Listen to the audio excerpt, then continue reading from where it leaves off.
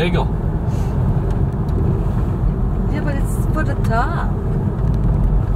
Is it? I It won't work. I don't know. Maybe it's like Lowry seasoning salt. You put it in everything. I guess so. That's what she's gonna do.